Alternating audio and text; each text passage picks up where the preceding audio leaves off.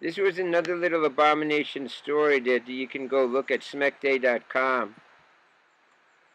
I don't want to get into too, too much of this for a little copyright.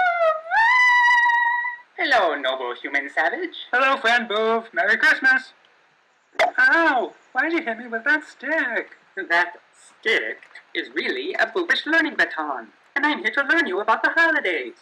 But Christmas always comes at the end of December. Ow. There is no more December. The Boov have simplified the human's calendar into three excellent months.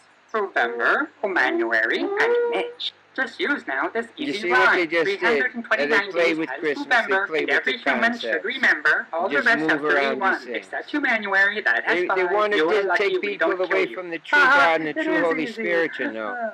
Thank you for fixing our world. calendar. But what about the holidays? Yes, Christmas is now Smek Day to honor our leader, Hear Captain Smek. Groundhog Day is now the start of Smek History Month. Passover is now Book You Passover. see. These and all other holidays are explained into this helpful pamphlet. Christmas New Smek Day, are a sex fun, day. fun and mandatory.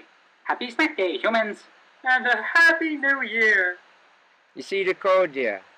You see the code? Okay, people? You can go look up Smek Day. But this girl gone too far, and uh, there's a case going on right now about Richard Dupree suing her, and my case of the blood libel of gems, and will be added to this. Thank you. This is decoding this MK Ultra Baphomet girl, Rihanna.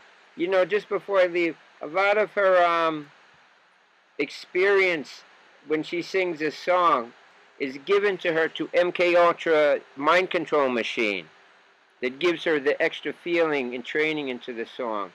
Where at this point, the beating between her and Chris Brown, I do think was staged. And her, her injuries were makeup. And she was given that experience through MK Ultra psych, psychotronic techniques. And the whole music industry, the Baphomet music industry, from Lil Wayne to Jay-Z, to all of them are involved in a vast conspiracy using this, this technology. Due to Black Ops, you know, technique to build them up in their black pyramid in the entertainment hip-hop industry. And that's why the Jamaican music industry has gone into disrepute into this dancehall Baphomet where all their leading singers are in jail for murder and guns and drugs.